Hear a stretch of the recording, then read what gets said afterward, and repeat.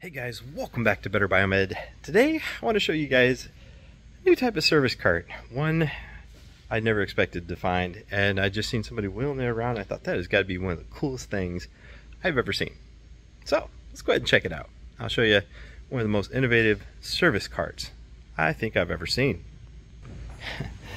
guys, this right here is the Olympia service cart. Now I don't know the model for it. I will look it up and I'll see what I can find. I'll leave it in the video description. But guys, check out this cart. Do you imagine if you're going from work site to work site and this is what you pull out of your car? Let me show you this service cart's party trick.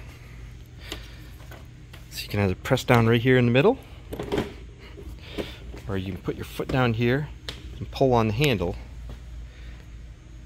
and you have a three tier reinforced wheeling service cart. And the only thing you have to be sure of is to push down on this guy and it locks in. You see, I did it with one finger.